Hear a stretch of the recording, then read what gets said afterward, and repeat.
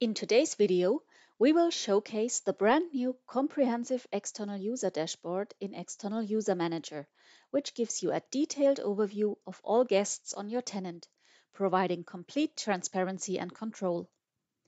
To access the dashboard, open External User Manager in Microsoft Teams and click the Overview tab. At the top of the page, you can see statistics of your external users, as well as the amount of pending and new requests and access reviews. You can also filter the information by days, weeks, months, and years. Below that, you have an overview of your teams and users.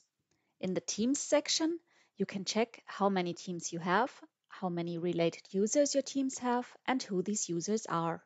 In the Users section, you have a detailed overview of all your guests. You can see their names, types, related teams, responsible people, date of granted access, and next renewal and their status. By clicking the three dots next to the user's status, you can either restart their onboarding process or remove them from your environment. By clicking the user's name, you can get even more detailed information about them. For example, you can check their metadata and see their timeline history when they were added to the team and when they completed the onboarding process. This new feature will turn managing guests and external users in your M365 tenant into an even smoother process.